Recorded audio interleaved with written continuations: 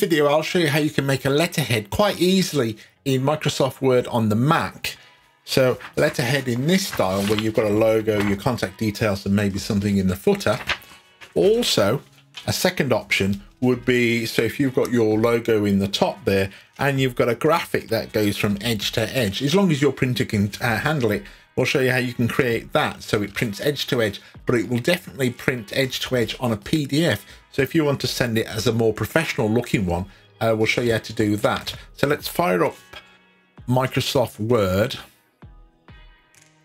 And what we want to do is go into the header area. So normally if you just double click right to the top, you can see this is in dark mode, but again, the same is in the light mode. So if we double click the top here, you will see across the band there, you've got various options. One of them is header, footer.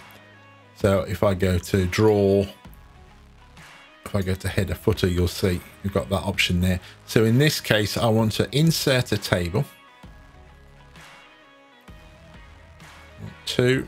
Now what I want to do is make sure I am having no borders because obviously I don't want to print the borders around this table. So I'm going to say no borders. I should have selected it all and said no borders. Now I'm going to drop the address in first. I've got the address here. Let me copy that. That. I will. Now I definitely don't want the commas here. I'll take that out. Um, I'll have this Let's have this adjusted to the right. Also add the telephone number 0121. If you're ever in Birmingham, UK, definitely go to this restaurant. Very nice. Uh, highly rate it. And there's various fonts. I know on yeah, one we did on the PC. There's a wing that's not so far down. Here. Uh, wingdings there we want the phone icon there insert we'll close that there that's there so that's the address now we want to add the logo if we go to insert so if you're on if you go click on insert pictures we want it from the file insert that obviously that's way too big scale that down. Still. Again, you can adjust the width by moving these across the top. So if you wanted it to be wider on your page, you can move that there. Same with this at the top. Now, if I, if you're not seeing your header footer, if you move, you'll see this little uh, arrows here. Depends to how many uh, options you've got. I've got Acrobat, which I don't think is standard. Uh, so if I go to here, you'll see I've got the header footer option. If I click that, I've now got the option to close it. Now I just, in this case, I'm just going to insert the web address. Center that. And that's it. Now if I go header footer, again, I can either close it there, or if I just double click in the middle of the document, and that's it. So if I zoom out a bit, you will see got the logo, contact details, and the address. And, and that's what that looks like. So now we'll do this option. On the PC, there's an option to insert it as a background effect, but we're going to do it using the header. So if I go to the header option, double click, I'm going to insert a picture I'm going to drag this across because I've got it already loaded here. So I'm going to drag this across. Now, as you can see, the header now is really deep. Now, we don't want it this deep. The layout, and we want text. This option, behind text. If I click that, that will move this. I can now move this to the corner drag this down to the bottom.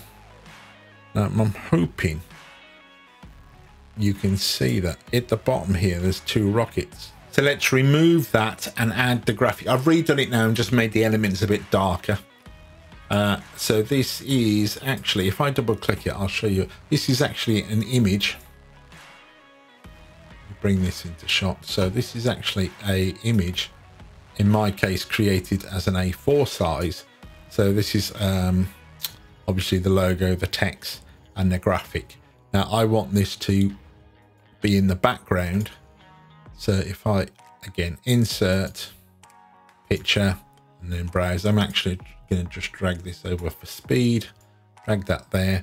Obviously, that's not the right size and that's pushing my header all the way down. So if I go click on that, I go to layouts, I want this image to be behind the text. So any text I do on the document, I want the image to be behind it. Again, this the address here, this part is actually part of that uh, graphic.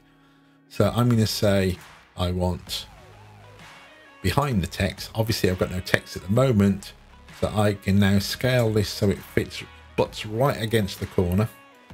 Drag this so it goes to the bottom. As I said, this is an A4. And now this is actually, I've dragged this so it's actually the height of the graphic. If you're seeing yours a bit low, I double click that. All you do is move to the side and you can, you'll see that you can raise or lower the header. I want the header obviously to be underneath my graphic. So I want that text to be centered.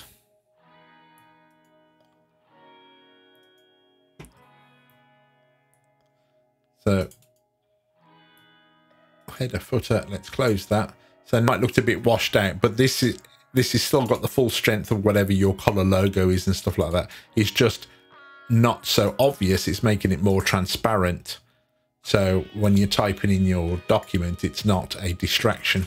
So if I wanted to drop some text in here, uh, let's paste this with no styles, unformatted text.